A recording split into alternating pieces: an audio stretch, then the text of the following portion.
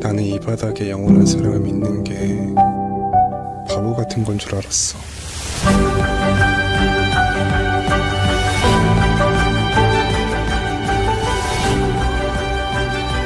좋아요. 당신이라는 우주를.